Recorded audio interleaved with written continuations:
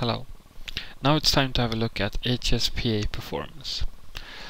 If a UE has been connected to Wideband CDMA and connected to HSDPA or UPA, it will be available in the option tree. Like this, HSDPA and HSUPA data. HSDPA data is available to drag and drop into the map for like uh, DSCH throughput, drag and drop into the map, and we will have the throughput as we travel. We can combine that with, um, or have a look at, uh, now let's see, CQI median. Have a look at CQI distribution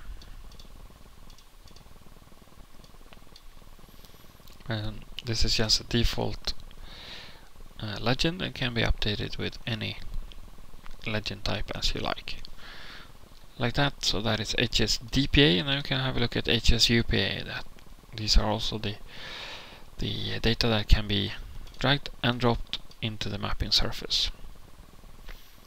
Like that.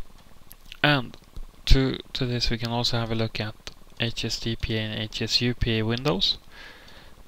Well, that will be updated with data according to that specific measure point that is selected. So these are the HSDPA data, HSUPA data, and this is a legend for the for the data that's shown in the map.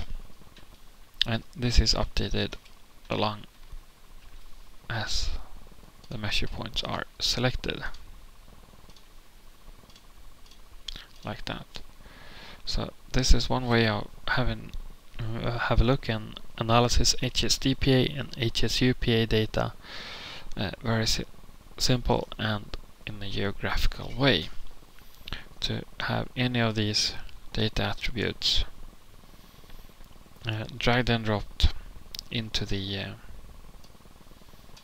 map like that with an updated legend of that data.